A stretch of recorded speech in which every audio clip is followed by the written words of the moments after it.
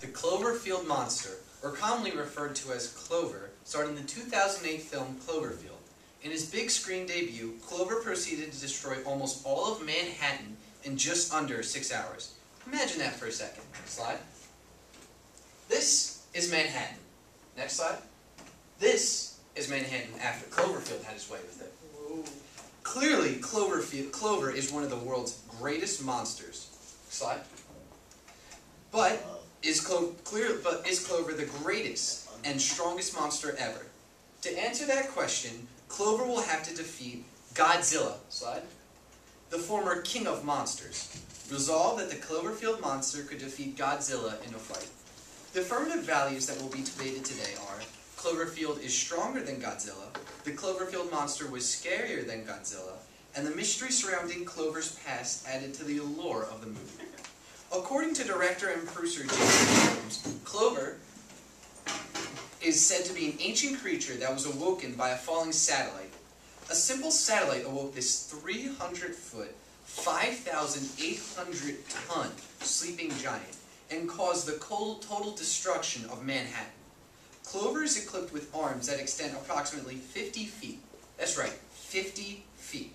That's about the size of a mass transit bus. And if that wasn't bad enough, Clover is infested with small parasites. Slide. As you can see here. These parasites fall from the Cloverfield by the hundreds and are approximately 3 feet high and 4 feet long. Now, although this may seem insignificant compared to the size of the combatants in today's bout, but remember that these parasites are each equipped with a neurotoxin that causes swelling of blood vessels and explosion. Yes, I did just say explosion. For the audience's sake, I have kept photos of said explosion out of today's slideshow. Clearly Clover has a very impressive arsenal of tricks up his sleeve, but his opponent Godzilla will determine the outcome of this fight. Godzilla, formerly known as the King of Monsters, has a bit of a historic past. In the first Godzilla movie, Godzilla King of Monsters, Godzilla is depicted as being a prehistoric dinosaur that was awakened and mutated by an increase in radioactivity in Japan. Therefore, slide, Godzilla is nothing more than a giant lizard. Next slide.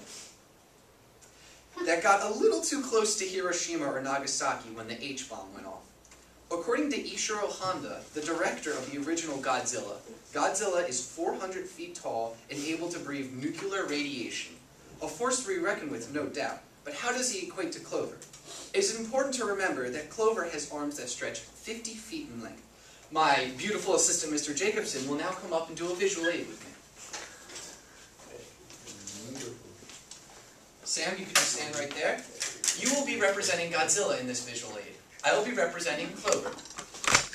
These are my 50 feet, my 50 feet long arms. Now I want you to try and come at me without me hitting you with my arms. Try it again. Why don't you try it again? Clearly there is no way for Godzilla to get at Cloverfield when his arms give him a 50 feet advantage.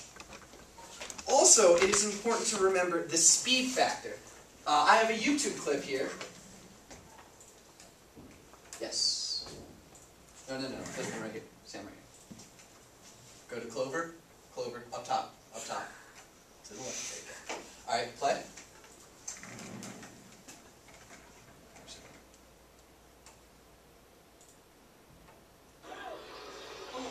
This is the Cloverfield monster claiming another victim. Here we can see Cloverfield as he's about to strike. You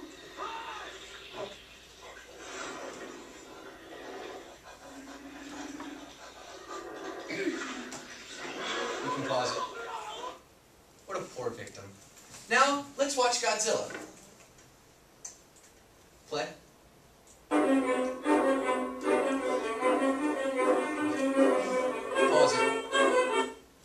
Now, as you saw there, it took Godzilla a good four seconds to turn about 90 degrees, when it took the Cloverfield monster about three seconds to jump all the way down 350 feet and snatch up an unsuspecting victim.